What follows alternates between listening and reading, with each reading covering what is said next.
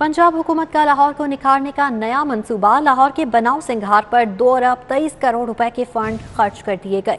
लाहौर के उनतीस कॉरिडोर की तजीन आराश और तामीराती काम किया जाएगा। शहर की उनतीस बड़ी शाहराहों के अतराफ फुटपाथ और पौधे भी लगाए जाएँगे। लाहौर के बनाव सिंगार पर दो अरब तेईस करोड़ के फंड्स खर्च किए गए। पंजाब हुकूमत का लाहौर को निखारने का नया मंसूबा, लाहौर के बनाव सिंघार पर दो अरब तेईस करोड़ रुपए के फंड खर्च किए जाएँगे। लाहौर के उनतीस कॉरिडोर की तजीन आराज की जाएगी। तामीराती काम को भी मुकम्मल किया जाएगा, जबकि शहर की उनतीस बड़ी शाहराहों के अतराफ फुटपाथ और पौधे लगाए जाएँगे। लाहौर की खूबसूरती में इजाफे का ये प्लान है। इस हवाले से कहा जा रहा है कि पंजाब हुकूमत का लाहौर को निखारने का नया मनसूबा लाहौर के बनाव सिंघार पर दो अरब तेईस करोड़ रुपए के फंड खर्च किए जाएँगे।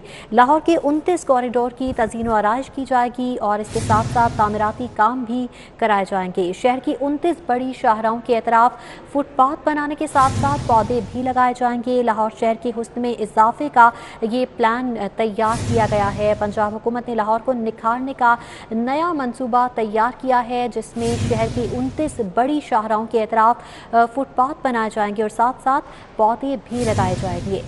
ताकि लाहौर शहर को मज़ीद खूबसूरत बनाया जा सके।